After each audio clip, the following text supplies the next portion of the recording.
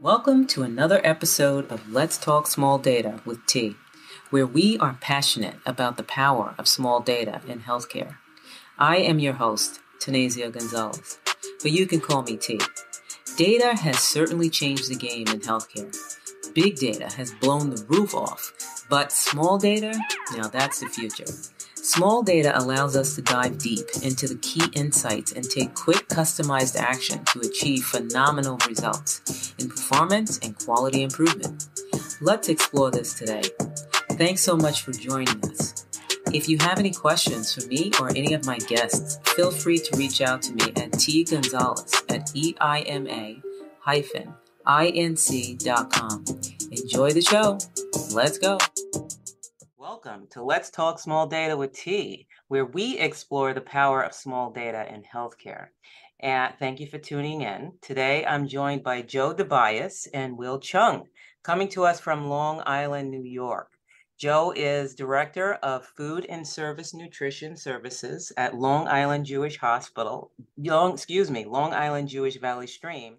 Will is owner and operator of 99 Spoons New York City, providing self-serve robotic kiosks in New York City. I'm so happy to have you guys on here. I've Really been looking forward to this talk because I think what you're doing is so unique and really exciting because who doesn't like ice cream? And I think um, bringing that to the experience in the hospitals um, is just a gift from God because I've been on the professional side and the personal side in hospitals. And having something like this would definitely make the mood lighter, make it easier to deal with, both as an employer and a patient or, you know, a visitor. Uh, you know, I've had uh, family members within the Northwell system. I've worked within the Northwell system and other hospitals, obviously. I love what you guys are doing. Really looking forward to hearing what you're doing, what the plans are for the future.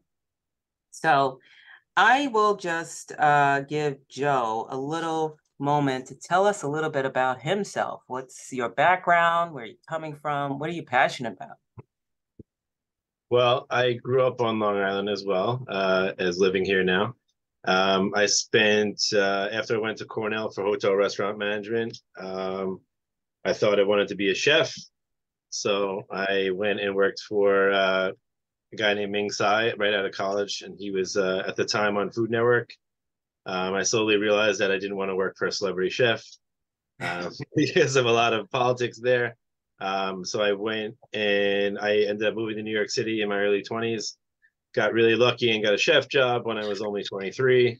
Nice. And uh, had a long-standing passion to have my own restaurant. I was very lucky at an early age. I knew exactly what I wanted to do, and that was always own my own restaurant. Um, then I kind of set a goal for myself to open and establish something before I was 30. So in my 29th year here on Earth, I opened my own restaurant, and uh, it was in Manhattan's East Village for um, just shy of 10 years.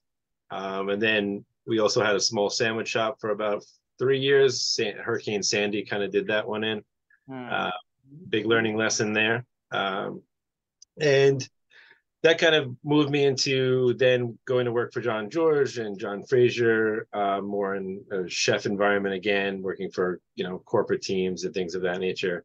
Uh, and then then I got into my early 40s and I decided to start a family, and that's when my lifestyle uh, needed to change. And through a couple of different, you know, uh, lucky strikes, my wife looking on Indeed, which I don't think I've ever been on Indeed in my entire life. Uh, but when my wife was helping me look for a different career path, other than being in a kitchen, um, you know, 24 7, seven days a week, um, she happened upon Northwell and um, we had moved to Floral Park, which is only about 10 minutes from here. Yeah. And uh, I never even knew Valley Stream Hospital was here in the first place. I didn't really know anything about Northwell, to be frank. Um, but all I knew is that they hired a Michelin starred chef and they were starting this food transformation. Um, and I was pretty intrigued by that. So then I got to meet that chef, Bruno, and um, I got to meet the team here at the, the site. Um, and I took a kind of a leap of faith as they did on me as well, because I'd only been a chef. I'd never been a director. I'd never worked in really corporate role like this. Um, so there was a leap of faith taken on both sides. And four years later, I'm happy to say that it's it's really worked out. I found my niche here. I'm really passionate about not only about food service because I've obviously done it my entire life, but um, I'm I'm really passionate about systems. I'm passionate about workflow. I'm passionate about standardization and optimization of what we do in the culinary space, but mm. also outside of that. So how do we build kitchens? How do we um, make more efficient workspaces? How do we spend better money on equipment?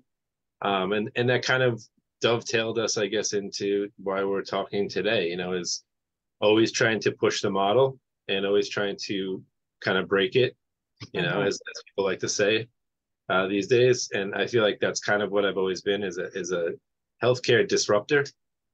because when I got here, I've always I've always been told uh, that's the way we do it. Yes. And or that's the way we've always done it. And I hate I hate that statement. I hate both of those statements. And if I'd never heard uh-huh. it again in my life, I would be happier. Um, but that's yeah. kind of what motivates me on a daily basis is being told it can't be done or it, it won't be actualized. It's a great idea, but it, nobody has time for that or money for that. Um, and I always feel like the way I approach things is I try to give as much as I take. So if I want to take away something, I try to give back something that's better.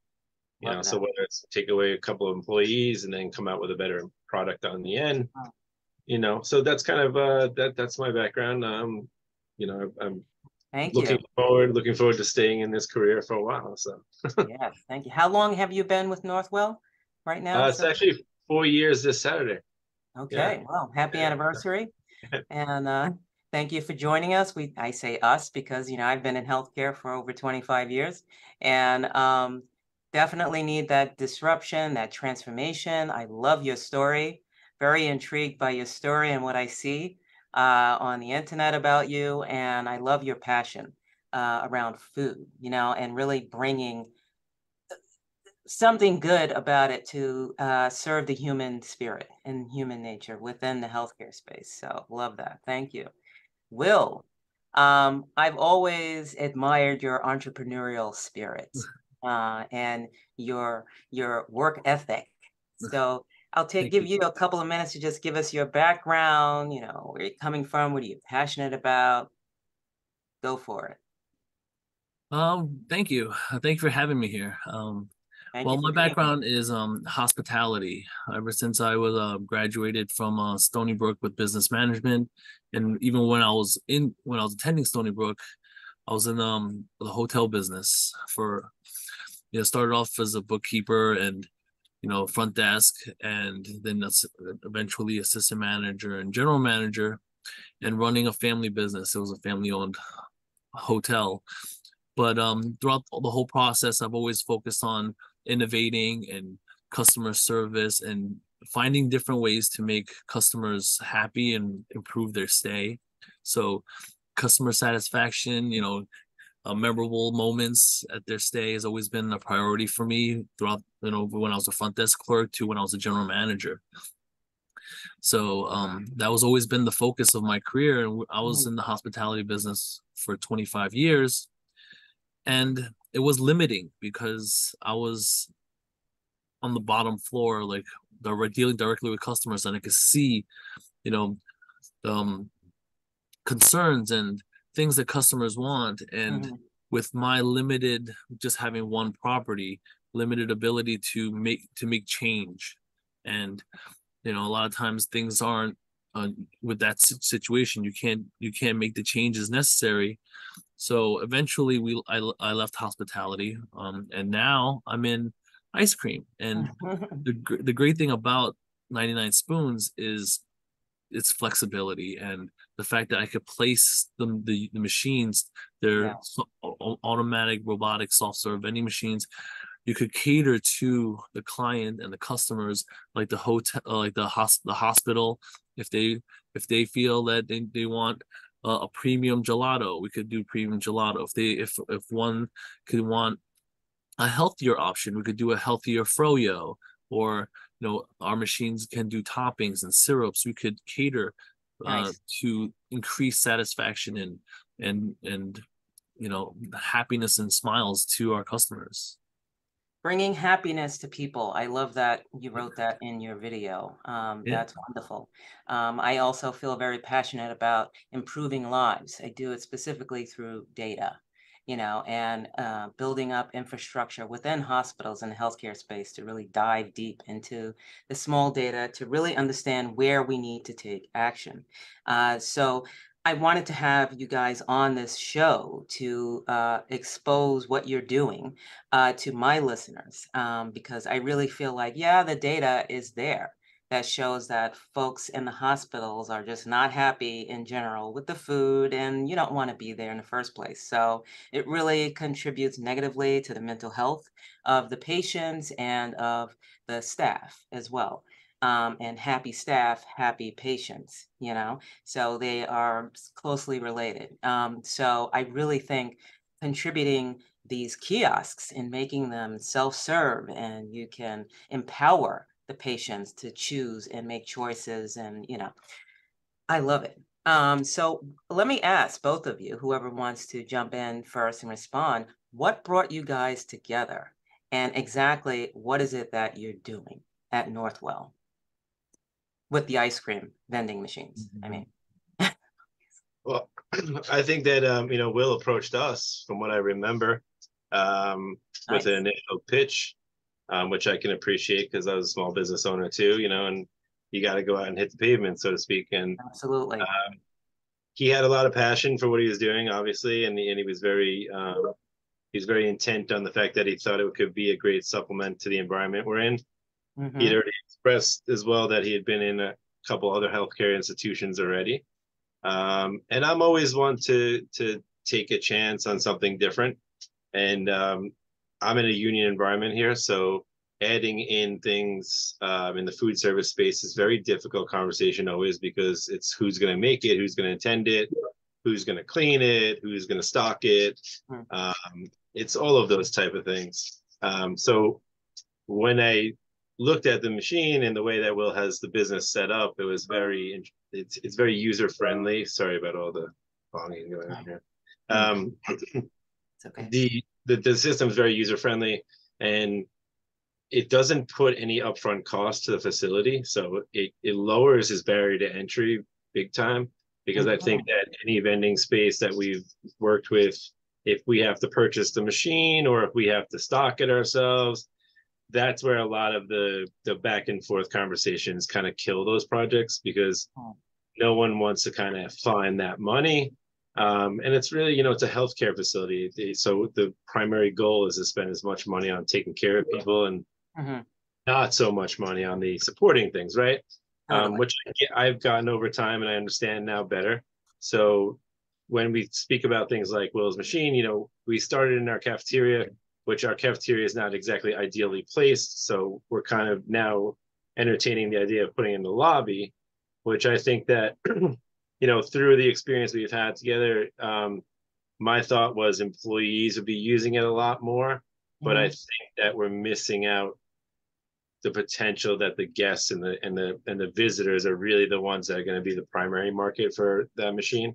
Right. Um, you know, and I think that that's kind of you know stuff that Will has been great with working with us too. You know, you know, suggested lowering the price. We've lowered the commission. Like we were finagling things like that in order to make the model mm-hmm. work for both of us. Um, but I think that's kind of that's how we did it. And and for me, I never bring in any idea into Valley Stream without thinking about how it could be shared throughout the system. So I don't think that anybody else in uh, my position throughout the company wouldn't think the same thing about a machine like this. And some of us have potentially much more lucrative spots for Will than I do because of foot traffic um, and because of uh-huh. general location in the buildings, right? So if you go to like LIJ main campus, there's there could be thousands of people through that lobby in a day, you know, so the capture Absolutely. rate's a lot higher. You know, he might have to refill the machine like that daily. Right. Totally. Well, thank you for that. So, Will, yeah. actually, before we go any further, let's let's get a little more insight into the actual machine. Like, what exactly is in the machine? How does it work? You know, just give us a, a quick intro to that. So, well, the machine um was um brought in from 99 Spoons, which is the um, Nick Yates, who um, is a pioneer in bringing frozen desserts to the United States. His previous business was um, his previous company was a, bringing a froyo machine into healthcare facilities before, but it was um it was the first it was his first idea, so it was a really big unit, you know, with big robotic arms and taking a lot of power, and it didn't work out as as planned. And this is the fruition of the next iteration of it. Instead of um, a humongous unit that takes up a lot of space and sucks up a lot of juice, it's more of a compact but better in my opinion, machine. You got a huge touch screen, so the either an adult or a child or patient can tap and see exactly what they want, tap exactly which toppings and syrups they want, and customize it to their liking and purchase it, and it makes it right there on the spot within 20 to 30 seconds. So it's very intuitive, right? Easy to use very easy to use big pictures of the toppings and everything and the fact that what brought me to bring it uh, have the idea of bringing it to the hospitals is you know a lot of hospital a lot of cafeterias or eating spaces. They don't have like joe says it's union doesn't have staff 24 hours a day. And the appeal of this is that the machine is automated. So whether it's three o'clock in the afternoon or three o'clock in the morning. If a nurse is stressed out or a doctor or employee is stressed out, had a rough day, they could go to this machine and pick exactly what they want on their ice cream, and it'll have a, the light for the next couple of minutes. Nice. It makes me think of the water cooler. Is it also similar to that? You have the water cooler conversations. You have the self-serve kiosk conversations going on you know, especially at 3 a.m., like, ah, I just need to get me a quick froyo. Boom, put on some, yeah, add cherry, add more syrup. And let me tell you about my day. Um, does a machine give you insight in terms of calorie content, like nutritional information for what's being served? Like calories, how many calories, what are the ingredients? Does it do that or doesn't get into that level of detail? It is slated to do that. The software is uh, constantly okay. constantly being updated and okay. uh, improved. Uh, there is plans to have um, calorie calorie content for mm-hmm. each um, topping and each syrup and the ice, the ice cream itself. Nice, I love it. Um, thank you for that. So, Joe, you were telling me about kind of the intended um, outcomes, like the reasons why you thought it was a good opportunity to place the machines in in the hospital you know have have those come to fruition? Were there any unexpected things that happened with these machines? Any unexpected findings that you can share? Well i think um, we missed the mark on original placement and I, I told will that frankly. I think that the cafeteria um, from mm. the outside looked like the great spot for it because we don't, you know, to Will's point, don't sell any uh, desserts there, um, not frozen desserts anyway. Um, but again, you know, our cafeteria suffers from location, you know, so it's in our basement, uh, ground floor. Um, we don't even capture all of our employees in the cafeteria at the moment. So the idea that we would get all of our guests down there too, I think is a little farcical. And it's kind of bearing itself out in the numbers. Um, I would have already moved the machine to the lobby uh, but the lobby is under construction at the moment, which is constantly happening at this building. Yeah. uh, but it's the construction slated to wrap up, uh, I think during this month or next month, and I've already committed to Will that we're going to be moving the machine upstairs. And we had a former gift shop up there, mm-hmm. which our uh, which my boss has kind of given us a blessing to maybe flesh out into a little um, vending kiosk. So my idea was possibly to put a coffee vending machine, a fresh Ooh. food vending machine side by side with Will's machine. So it would be this little kind of uh, lantern effect for the flies, you know, to come to and and oh, get a little. Bit, you know, so if I was interested in just getting a coffee, I go and pop in to get coffee and go, oh wow, there's ice cream too, or yes. I yeah. You know, I want ice cream. I go pop in. I see, oh, they have fresh food. So like, it can kind of continue the conversation for the guests throughout the day and throughout right. maybe even the week that they're there visiting family. Um, we do a lot of inpatient stuff here and and outpatient stuff. So we have uh-huh. dialysis and things of that nature where people are coming. They're not admitted, but they're bringing a family member. They're bringing a caretaker. They're bringing a driver, whatever it may be. We have tons of vendors in the space, and totally. I think that is where we're going to really start to see an uptick in the in the traffic. Um, that's my hope is, and and again, I'm I'm not a big believer in putting things in and then just giving up on it right away. And I I'm, I'm glad that Will's committed to that kind of Same process. you know, yeah, we could we could have already said, hey, you know what, it's not working, forget it. Um, but I thought it was just like we we need to examine better locations before we say that it's not the right fit. Totally. What you're describing to me is what I've been in for the last 15 years, which is continuous quality improvement. And right. it's like taking those small tests of change, you know. So let's put it here. Let's see how it works out. Okay. What worked, what didn't work? All right, let's tweak it. Let's pivot. Okay. Maybe we need a new location. Maybe we need to do XYZ. And before you know it, you found that sweet spot. And yep. then you can replicate that you know, right. across whatever. So I love that. Have you guys had any feedback from staff, patients, visitors, any specific feedback from folks? Because that'd be I mean, really you got like yeah, a, I, we definitely get a lot of feedback, you know, and, and I think that one of the things I get a lot of feedback on is I didn't even know it was here. So that was part of the reason we started look at better locations, right?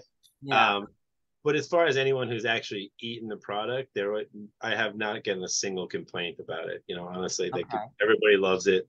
When Will comes down to refill the machine, he gives out free samples.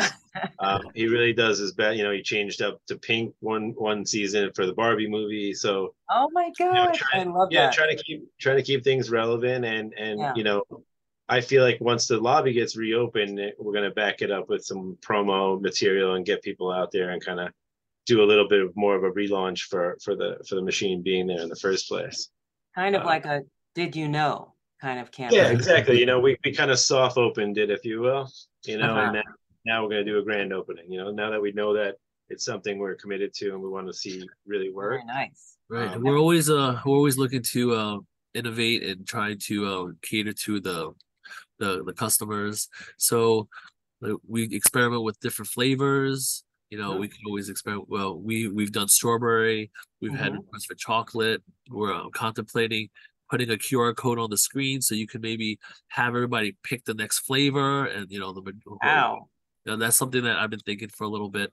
So maybe we'll. Oh, we'll, you mean like like a like a like a poll flavor, like a poll? Yeah. Okay. Yeah, like oh, like should we do salted caramel or birthday cake or you know chocolate fudge brownie. You know, we have all these options because of the flexibility of the machine. Nice. You know, the idea of cashless markets and automated machines and and things of that nature are no longer just you know science fiction of the 50s. You know, it's it's it is the next revolution. You know, we've talked about cashless cafeterias and things of that nature, app-based cafeterias. So there is an appetite to start to discuss how you go from your traditional institutional environment mm-hmm. of cafeterias to a more progressive style of cafe slash grab and go type, you know, yeah. more in the arena with the elbow and pans and things of that nature, where it's very high quality stuff that's easy to access um, at any time of the day. And that's kind of where, you know, right. Will's machines fit fit in perfectly there is it's meant just for that, you know, to sort of complement um, not detract but complement the business that's already existing you know and right, i think that right. part of part of the little kabuki dance that everybody has to do is we're not going to we're probably not going to put a sandwich vending machine in there because we make good sandwiches you know what i mean so it's yeah we want to put the, we want to we want to draw in the high end businesses that are not things that we particularly have the the opportunity to to get into you right. know so pastry and, and desserts and stuff like that is still one of our things that we're not able to do as well yet because we don't really we haven't dedicated resources to that and i don't think you know frankly speaking i don't think there's a lot of appetite to because so many people like will do it very well you know without a lot of you know i don't have to train anybody to use the machine i don't have to stand right. out there help people through the process i don't have to make change for right. it right it, you know, I don't have to refill it or anything like that. I don't even know when he's coming to refill. To be frank, you know, he does. So, you know, I mean, it could lean into the village, yeah. You know, so. and, and, and honestly, for the building, you know, things that they could bring into the space that mm-hmm. are going to make even an incremental amount of money, um, whatever amount of money these days it is, it is. You know, that you can't shy away from even a hundred dollars, a thousand dollars, because a thousand dollars over 20 sites is more than a thousand dollars. You know, it that's kind of wow. the way we always think about things in the system is it's a system. You know, so if there's yeah. a good idea, a good idea at one site, it becomes a good idea for all of the sites. Spread best know? practices. Yeah, I yeah. think that's how, how we've done the food service revolution in our companies. It started with one gentleman and it and it, he made it into a village and now everybody everybody's mentality about what we do is completely changed. Right, right. A lot of the players have changed, but we brought in the folks that that believe in the progress and believe in the, the evolution. Right. No, I love it. I think it's very innovative. And I love what you said that, you know, you could bring these types of products and vendors to, to complement or supplement what you're already offering. Um, so that's awesome. Uh, I congratulate you on being a pioneer in that respect and like taking this on. What are the future plans? I know you said you were talking about placement. Um, yeah. In general, what are some of the future plans for these kiosks? I would love to see things like this expand throughout the system, right? Um, but I'm really committed to making it work at Valley Stream as well, because I think that if I can't say to the other sites, hey, look what we do with this, where's the intrigue going to be, right? So I think that that's why I'm saying that improving the location is paramount for me now. Um, improving the foot traffic to the machine, the knowledge of it being there. Um, so that's why I think that if we do a few preliminary things coming into next year, we could really be talking about a healthy appetite for people to add the machine on their own, you know, right. without without me force feeding it to anybody because we, you know, fortunately in our company have a lot of site autonomy We're allowed to do. We do things within the scope of what we're trying to do, but we're all left with a great executive chef team and great creative minds at each facility. Um, but the one thing we all do buy into is high quality. You know, so if it's high quality, it's high quality. And if and it and I know for certain, like I said before, that ice cream and, and frozen desserts are a desert kind of environment for a lot of our cafeterias because it's a difficult thing. Like to Will's point, you got to have a big machine. You got to have a, you know, there's a lot of things that go into having frozen. Yeah. yeah. They break down constantly. You know, anything with a compressor constantly okay. breaking down, even if it's new. You know, right. that's just yeah. things made these days. So, so, so on yeah. our side, uh, we've uh, we've gotten the attention of a big vending company, uh, one that has um has a contract with Northwell as well. Okay. So they we've been in talks. Uh, 99 Spoons has been in talks with their uh, their parent company and going through all the paperwork and all the all the red tape to um, have them on board and okay. possibly put um, 99 Spoons NYC or uh, 99 Spoons other operators in many Northwell locations. You know, once Beautiful. they're on board, and we could we could expand from there. And we've been to talks with other uh, Manhattan uh, hospitals and possibly putting one in Manhattan in the next couple of months. Nice. So. Yeah, I know uh, Northwell has a, a beautiful uh, website, and they're they're doing a lot of innovative things. Hopefully, one day we'll see LIJ. This front center. and Valley? Stream is our uh, kind of our uh, our test our test uh, subject. Yeah, your beta child or your yeah. beta hospital, right? Um, right. I love that. You guys are in the. I've been uh, that. I've been that a lot over the four years. So. I love it. You know, you, you being the pioneer, being the first. You know, you shake out all the kinks, and then finally, when you hit that sweet spot, you go, "Hey, look yep. what we were able to accomplish," and it can happen for you as well you know look at all the happy uh happy uh people and all the happy yeah I, love, right? I love those videos you have uh will on the instagram account there of you see the kids like operating the machine and the pictures and it's so nice and i saw the pink the barbie one the also barbie that's really cute yeah very nice.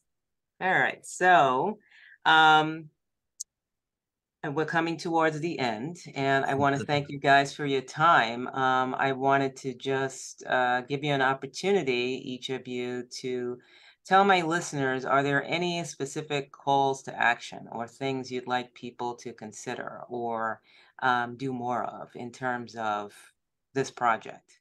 I, I generally get annoyed when people say technology is going to somehow solve the issue of labor. It's yeah. not.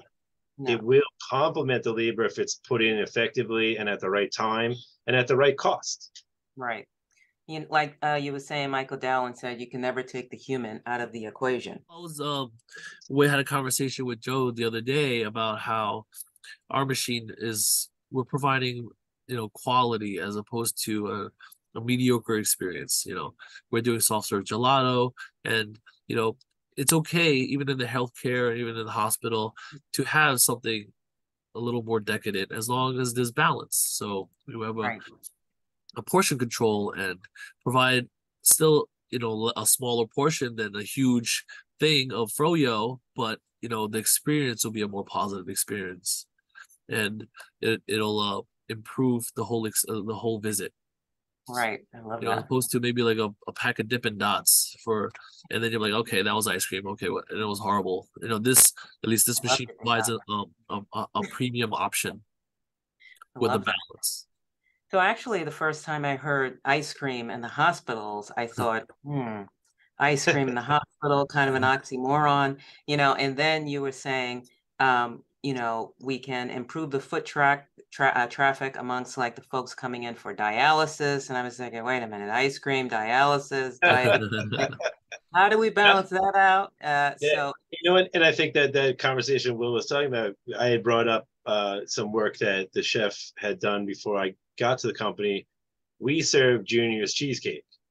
Now you would say to yourself, "Holy crap! How do you do that?" They came up with a cheesecake bite essentially. So it's like two bites worth of cheesecake, but it's exactly the same recipes you get when you go to Junior's and get a big old hunk of cheesecake. So it's intended to really give you the same experience, but by controlling the portion, we're now not being irresponsible, you know, as far as being healthcare providers, right? So the idea of giving them the fat-free cheesecake, though, that's twice the size and doesn't have a good flavor, I'm not going to eat that so now that's just a wasted product. I throw it in the garbage, you know, and then they want another dessert. So now I've hit been hit twice in that meal period. That's a cost loser. So I'd rather buy the little more premium cheesecake, but the something that someone's going to eat because they're going to be like, "Wow, that tastes like the real thing," because it is, you know. And yeah. it's even. So that reminds me, yeah. Yeah. Uh, when my every time my you know I have four children, so every time my wife, when she would uh, be pregnant and we're planning, you know, going to the hospital and having this baby, my wife was always like, "We have to go to Northwell because of the carrot cake." You know, she, she's looking forward to having the baby and then being in the hospital and having the carrot cake because it's delicious.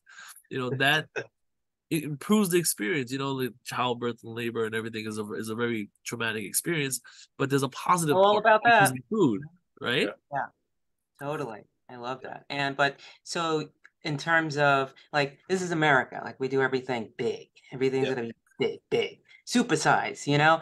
And but you were saying you get the Junior's cheesecake and the portions are small. You have folks like purchasing ten different 10 servings of that small portion. I mean, you have to have some self control when you're yeah. at that machine. So you're not like, yeah, give me like 30 of these. Okay.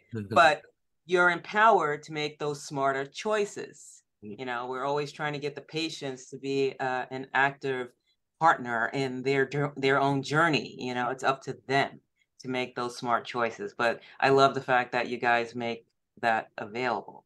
I, you know, to the, it's there. You can make that choice. I'm gonna have this one portion. Um, currently, for the toppings and all, we only have a one topping serving size. You can't start tapping and get okay, like good, quadruple good. chocolate syrup at the machine. like, no, again, again. No, yeah. No. But anyway, all right, guys. So um, after this talk, folks may want to get in touch with you all, maybe ask you some questions or engage with you some kind of way. Are you okay with that? And Definitely. okay, yeah. Joe. Okay, so what's the? I will put some information under the show recording, but what's like the most the the preferred way for folks to get in touch with you all, uh, Joe? Uh, my my business email if they have. Okay. J Dobias at Northwell. Got it. I will pop that in there as well. Will, what about you? What's the best? Uh, for me, my uh, my website's up. It's up and running. It's a perfect way. There's a a, a form for you to fill out if you think that our uh, our machine will be perfect for your location. 99spoonsnyc.com. you just go on there, see, links us to our Instagram so you can see, uh-huh. and um, gives a brief description of our machine and a little form for you to fill out. We'd be happy to contact you and have a, a site visit and sit down and see if it's a good fit for us. Awesome. All right. So once again, I want to thank you, Will and Joe, for joining me today. Thank you. To my, to my listeners, yes, it was so nice talking with you all today. To my listeners, thank you for joining in wherever you are in the world. To subscribe to the podcast, you can find us on Spotify, iHeartRadio, and TuneIn. Look up Let's Talk Small Data with T, no apostrophe. You can also visit eima-inc.com or emmainc.com and click on Let's Talk Small Data to learn more about the podcast. If you're interested in being on the show or know of someone who would be interested, please email me at tgonzalez at emma-inc.com. Have a wonderful day, and remember, unleash the power of your small data. It's your most valuable strategic asset. See you next time. This episode is brought to you by specializing in healthcare small data and offering expertise that goes beyond technology. Visit www.eima-inc.com to learn more about Emma and the podcast Let's Talk Small Data